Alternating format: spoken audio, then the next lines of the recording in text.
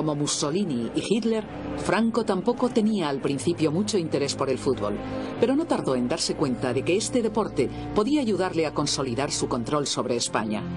Adoptó el club de fútbol más importante de la capital, el Real Madrid, como encarnación simbólica de su dictadura fascista.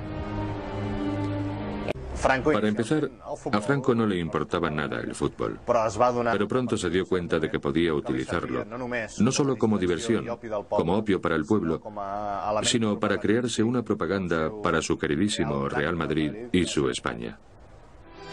Que el Real Madrid representaba a la España fascista de Franco.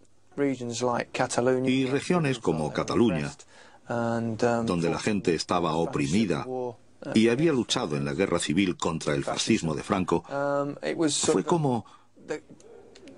No les dejaban hablar en su propia lengua. Y el único sitio donde lo hacían resultó ser en... El Real Madrid del argentino Alfredo Di Stéfano pronto le permitiría a Franco resarcirse.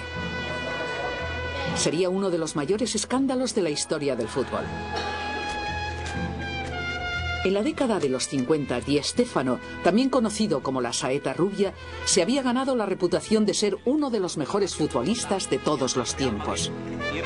Era la estrella del equipo colombiano, Millonarios, con un palmarés de 267 goles en solo 292 encuentros.